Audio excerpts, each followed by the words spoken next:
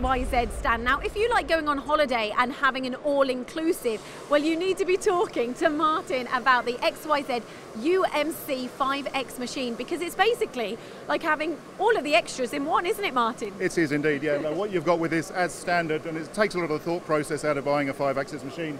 You've got linear scales as standard, you've got through spindle coolant as standard, you've got a 35 kilowatt motor offering 15,000 RPM as standard, rotary scales as standard. You've got three table um, hydraulics and pneumatics as standard. C-axis motor on the, uh, direct drive on the motor on the C-axis as standard. and the list goes on. There's an awful lot of extras. You need to have one of those things where we can see how many times you say as standard on this machine. Now let's talk about this um, table. What can the table take? What's its capacity? Okay, due to, as you can see, it's a very open structure and you've got equal size bearings on both sides of the trunnion. That gives rise to a 600 kilo capacity, so a 600 diameter performance, but also 600 kilos in terms of weight capacity, which is well in excess of most of the other machines out there in the marketplace. You've also got, for the C-axis, you've got a direct drive, you've got torque motor direct drive, which gives rise to higher rotational speeds and, and better performance in the long run as well. And is this bridge type construction? What are the benefits of it? Okay, there's, yeah, the, the, bridge type gantry construction offers a number of benefits, predominantly to do with rigidity and performance of the machine. Other machines out there tend to have your uh, y-axis on a ram that's protruding from the machine. Mm-hmm. Um, that can give rise to variations in terms of performance depending on where you are in the y-axis. With this machine, with the gantry, you've always got a fixed distance between your spindle center line and your bearing support, which therefore gives rise to consistent machining across the whole, the whole gamut of the, of the machining area. And the tooling? Tooling, number of options, sorry, not just a standard, but um, We've got 30 tools, 24, 30, 48, 60 tools um, as your options. We've also got whether we have an open, open or enclosed roof. Um, that's that's an option as well. And what's the benefits there? Well, look, if we, we can offer this again as standard with 20 bar through spindle coolant, um, we can offer 70 bar high pressure coolant. The machine's already prepped for that as well, so it's not a major inconvenience to go up to that level.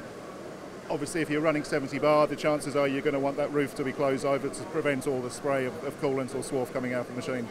And who are you aiming this machine to, and, and for the accuracy as well? Yeah, look, it is an incredibly accurate machine. As I mentioned earlier, linear scales are standard. You've got linear, linear repeatability of 2.5 microns in all axis. Um, you've got five seconds plus or minus on the rotary axis as well. So very, very accurate machine.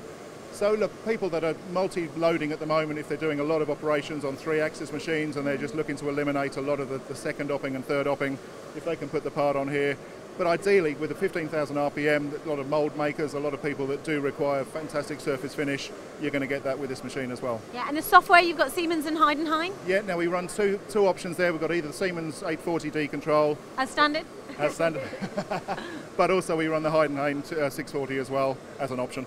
Um, just one thing to also mention, um, we can also offer this as a, U, as a UMC 4 plus 1 as opposed to a five axis as well. So for those people that don't necessarily need true five axis simultaneous, but they want still five sided machining, uh, it's exactly the same machine, but it's, it's simply four plus one, and it utilises a Siemens 828 control as opposed to a Siemens 840. Uh, but it just brings the price down to be an incredibly competitive price machine. You know what? You should do my job because that was the next question I was going to ask. Look, price point, yeah, you, will not find anything as competitively priced with all those inclusions as standard. I know I used to work for other machine tool companies offering a very similar capacity machine, but would be twice, three times the price of what I'm standing in front of here. There you go. There you have it. Martin Barber on the XYZ UMC 5X machine as standard.